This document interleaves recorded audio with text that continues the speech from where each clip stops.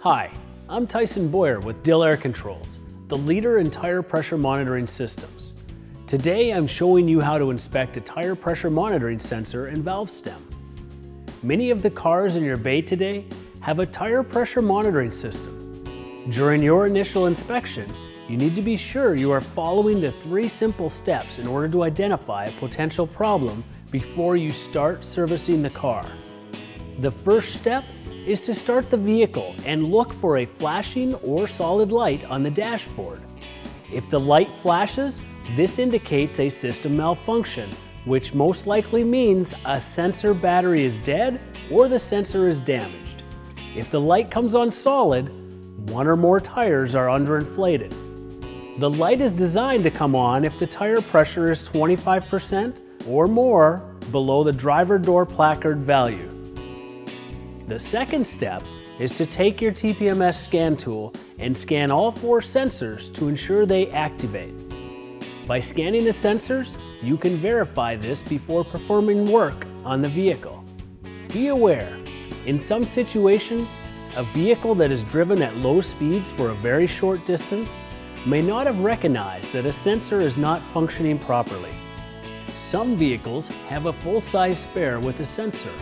If the TPMS light is flashing and you properly read the four sensors in the wheels, you may also need to check to be sure the sensor in the spare is functioning. The third step consists of performing a visual inspection around the valve stem. Is there corrosion built up around the valve, hex nut, valve cap, or valve core? Is the aluminum valve stem bent or is the valve cap a metal one that is not removable with two fingers? Galvanic corrosion may have occurred. Season the cap to the stem. If this occurs, stop immediately and notify the customer.